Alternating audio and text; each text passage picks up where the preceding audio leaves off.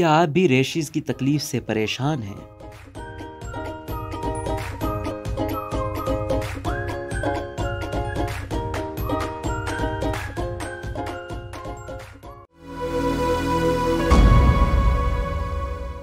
Rashes किसी के भी हों, ये किसी भी किस्म के हों, सख्त तकलीफ़ का बायस बनते हैं। इसकी कई वजूहत हो सकते हैं, जिसमें सोराइसिस कीड़े का काटना, एलर्जीज, एक्जेमा, केमिकल वाले साबन का इस्तेमाल, या पसीने की ज्यादती की वजह से पड़ने वाले रेशिस या किसी और तबी वजूहत की बिना पर होने वाले रेशिस ये अगर चंद दिन में खत्म ना हो तो डॉक्टर से रजू करना चाहिए खुशकिस्मती से। हल्के रेशिस बगैर किसी हैवी करीमों के इस्तेमाल या बाकायदा दवाओं के इस्तेमाल के भी ठीक हो जाते हैं। इसके लिए कुछ घरेलू नुस्खे हैं जिनको इस्तेमाल करके आप इससे निजात हासिल कर सकते हैं। Baking soda. बेकिंग सोडा अगर रेशिज में सूजन या खारिश हो तो काम करता है और इस तकलीफ़ को रफा करता है। इसमें एक हिस्सा बेकिंग पाउडर और तीन हिस्से पानी मिक्स करके पेस्ट बना लें, फिर इसको मुतासरा हिस्से पर लगाएँ और चंद मिनट के लिए छोड़ दें। पर इसको धो लें। एक और तरीका ये है कि बेकिंग सोडे के साथ नारियल का तेल मिलाएँ और इसको मुतासरा हिस्से पर लगाएँ। पाँच मिनट के लिए लगा रहने दें। अब धो लें। एक बात जहन में रहे कि बेकिंग सोडे को ज़्यादा देर तक न लगाएँ, वरना सूरत हाल और खराब हो सकती है। केमोमेल चाय। इसका एक और घरेलू इलाज केमो एल इसके एसेंशियल ऑयल में anti microbial anti inflammatory properties मौजूद होती हैं जो कि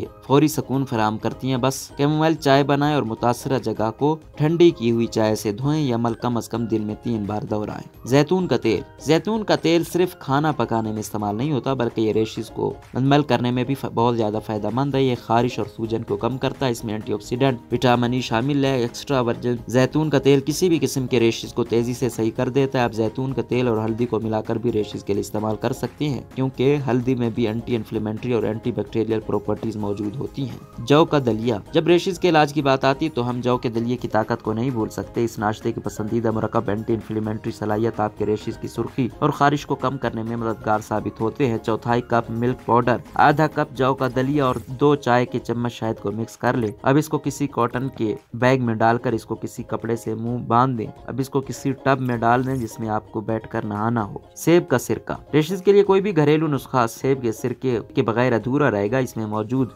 एसिटिक एसिड किसी भी जिल्द के इन्फेक्शन में मुफीद है। इसमें एक कॉटन बाल लेकर इसको सेब के सिरके में डबोएँ और फिर रेशिस पर लगाएँ। इसको चंद मिनट तक लगाएँ। फिर हटा लें अमल दिन में कई मरतबा किया जा सकता है।